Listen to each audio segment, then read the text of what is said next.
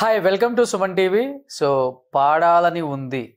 తనకి మూడు సంవత్సరాల ప్రాయంలో పాడాలని ఉంది షో ఎస్పి బాలసుబ్రహ్మణ్యం గారి ముందు పాడి తనేంటో తన టాలెంట్ ఏంటో ప్రూవ్ చేసుకొని అట్ ది సేమ్ టైం తర్వాత వచ్చిన ప్రతి షోలో కూడా తన విన్నింగ్ కాంపిటీషన్కి టైటిల్ తీసుకొని మరి చెన్నైలో కూడా తమిళ్ విజయ్ టీవీలో కూడా టైటిల్ గెలుచుకొని పాండిచేరిలో ఒక విల్లా కూడా గెలుచుకున్నారనమాట సూపర్ సింగర్స్ త్రీ ఫైనల్కి తను గెలిచారు. And Bol baby Bol winner and సై అంటే సై విన్నర్. సో ఇన్ని షోలలో విన్నింగ్ చేసిన జయంత్ ఇంత పెద్దోడు అయిపోయిన తర్వాత ఫస్ట్ ఇంటర్వ్యూ ఇది. హాయ్ జయంత్. హాయ్ అన్న. ఎలా ఉన్నావు? బాగున్నాను ఎలా అనిపిస్తుంది? ఒక్కసారి బ్యాక్ రీకలెక్ట్ చేసుకున్నప్పుడు అంత చిన్న ఏజ్లోనే తెలిసి తెలియని ఏజ్లో అంత టాలెంట్తో ఇంత సాధించావు కదా ఇప్పుడు ఎలా అనిపిస్తుంది? అవన్నీ రీకలెక్ట్ చేసుకుంటుంటే జయంత్. అది ఎప్పుడు హ్యాపీగానే ఉంటుంది. అన్న. అంటే ఆ షీల్డ్స్ చూసినా ఎప్పుడు ఫేస్లో స్మైల్ అనేది ఆటోమేటిక్ వచ్చేస్తుంది. సో అంటే ఆ షీల్డ్సే నాకు ఒక ఒక ఎగ్జాంపుల్గా ఉండింది. ఓకే నేను ఇంత సాధించానా అనే ఒక ఫీలింగ్ నాలో డెవలప్ చేసింది. డెవలప్ చేస్తూనే ఉంటుంది. ఇంకా అలాగే ఒక స్మైల్ అనేది తెస్తుంది ఫేస్లో హ్యాపీనెస్ అనేది ఇంకా తమిళ విషయానికి వస్తే మనో గారికి నేను ఎప్పుడు థ్యాంక్ఫుల్గా ఉంటాను అసలు మనో గారు ఎప్పుడు వన్ ఆఫ్ ది మెంటర్ నాకు. మనో సార్ ఇంకా అలాగే ఇక్కడ మా షో డైరెక్ట్ చేసిన ప్రతిమా మ్యామ్కి ఇంకా రౌఫా మ్యామ్ కూడా ఎప్పుడు థ్యాంక్ థ్యాంక్ఫుల్గా ఉంటాను నేను. సో అక్కడికి వెళ్ళినా సరే నన్ను గుర్తుపడుతుంటారు జయంత్ అని. అంటే ఆ షోస్ చేశానంటే అక్కడ కూడా టోటల్ ఫైవ్ షోస్ చేశాను. కానీ టూ షోస్లో విన్ అట్లా అట్లా వాళ్ళకు కూడా నేను రీచ్ అయ్యాను. ఆఫ్లైన్ ఆడియన్స్ అందరికీ. అంటే అప్పుడు సోషల్ మీడియాకి అంత అంటే ఇప్పుడు సోషల్ మీడియా కంటే కూడా అందరూ ఎక్కువ టీవీనే ఎక్కువ ఫాలో చేశారు కదా ఆ టైంలో సో అప్పుడు ఆఫ్లైన్ అప్పుడు ఆఫ్లైన్ ఆడియన్స్కి అంత రీచ్ అయ్యాను నేను. సో ఇప్పటికీ నన్ను గుర్తుపడుతున్నారు. అసలుకి తెలిసి తెలియని వయసులోనే ఒక ఇల్లు సాధించావు చూసా విల్లా? ఏ ఏజ్లో నీకు విల్లా గిఫ్ట్గా వచ్చింది? నాకు ట్వెల్వ్ ఇయర్స్ అన్న. Twelve years. నువ్వు ఇంటికి ఓనర్ అయిపోయావు. అమ్మ నాన్న ఫీలింగ్ ఏంటి? అసలు ఆ ఏజ్లోనే నువ్వు ఒక విల్లా గెలుచుకున్నావు సింగింగ్ కాంపిటీషన్లో విజయ్ టీవీలో తమిళ్ళో. ఏ సాంగ్? అది ఫైనల్ సాంగ్? నువ్వు ఫైనల్కి వెళ్ళిన సాంగ్? ఫైనల్స్ రోజు యాక్చువల్లీ నేను టూ సాంగ్స్ పాడాను అంటే ఒక తమిళ్ ఒక తమిళ్ డ్యూట్ పాడాను ఇంకా ఒక తెలుగు డ్యూట్ కూడా పాడాను. ఒక అదే అంటే ఒక రెండు ఫాస్ట్సే పాడాను. అంటే మెలడీ అంటే ఫైనల్స్ అప్పుడు like just show your energy అని చెప్పారు అంతే. మీ మేము ఎంతవరకు చేయగలరు మీ మీ మ్యాక్స్ ఎంత అని చెప్పి ఆయన ఎనర్జెటిక్ సాంగ్స్ పాడించారు అప్పుడు మాతో. అసలు గ్రాండ్ ఫినాలే అప్పుడు. సో అలా ఒక ఒక తమిళ్ డ్యూట్ ఇంకా తెలుగు డ్యూట్ అంటే నేను చేసిన first Tamil show actually junior super star అనేది అది సౌత్ ఇండియన్ లాంగ్వేజ్ సంబంధించింది. అంటే ఫోర్ స్టేట్స్ నుంచి ఫోర్ టీమ్స్ అంటే తమిళ్ సైడ్ ఒక టీము తెలుగు సైడ్ ఒక టీము మలయాళం ఒక టీము కన్నడ ఒక టీము సో అలాగా తెలుగు వాళ్ళ తరపున నేను వెళ్ళాను. అంతా మనో గారి వల్లే కుదిరింది. ఓకే. మనో సార్ వల్లే. ఇంకా అలా చేశాను.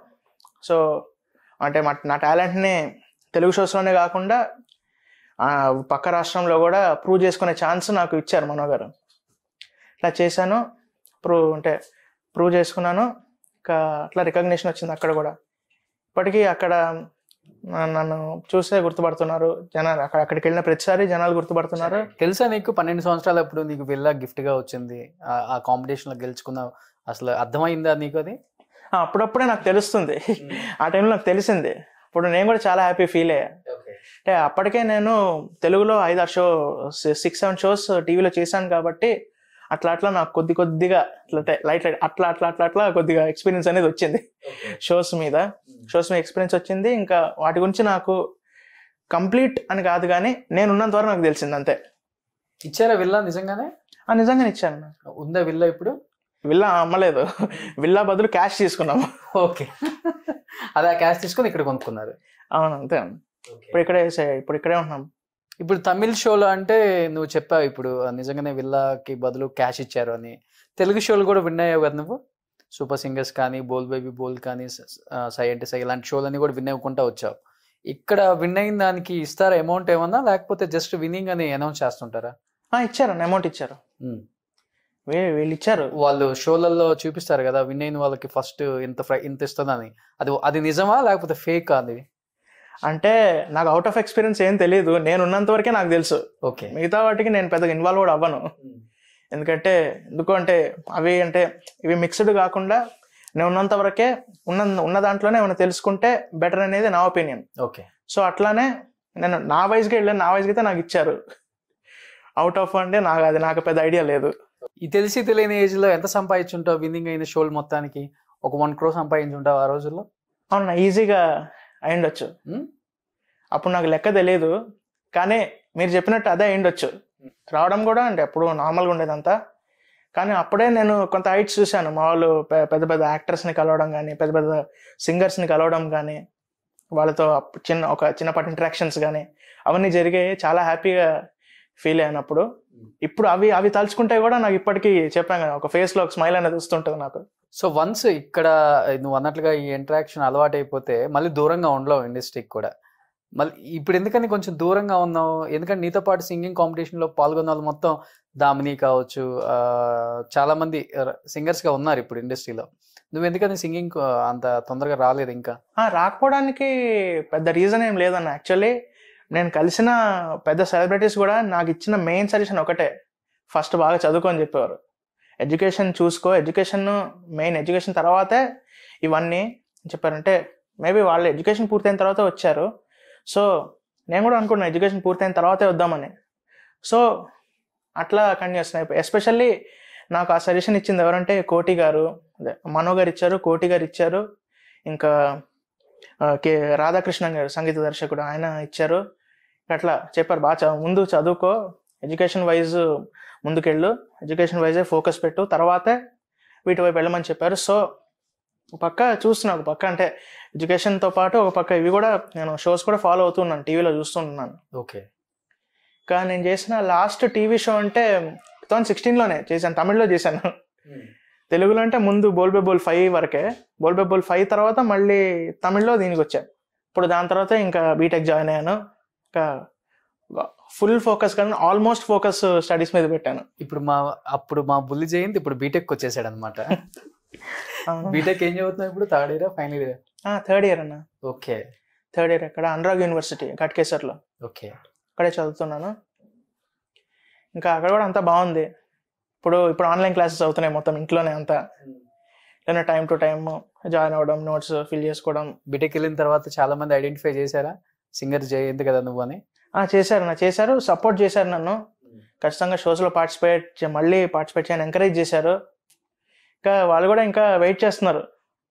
ఎప్పుడెప్పుడు మళ్ళీ టీవీలో వస్తావా అని. చాలా యాక్టివ్గా ఉండేవాడు కదా చిన్నప్పుడు నువ్వు? ఇప్పుడు పెద్దోడు అయిపోయి సిగ్గు పడుతున్నావు బాగా. అవును నా ఏజ్ పెరిగి కొద్ది కొద్దిగా అవుతుంటాయి ఆ- యొక్క థింగ్స్ అనేది మనకు వస్తూ ఉంటాయి కదా. సో అదే కొద్దిగా హ్యాబిచువేట్ అవుతున్నాను. స్టేజ్ షోస్ ఇప్పటిదాకా నేను ఒక త్రీ హండ్రెడ్ పైగా చేసుంటా అంటే లెక్క కరెక్ట్ ఎగ్జా అప్రాక్స్ లెక్క తెలియదు కానీ త్రీ హండ్రెడ్ ప్లస్ చేశాను నేను. ఇంత సిగ్గుపడతా చేసేవాడు షోలు కూడా?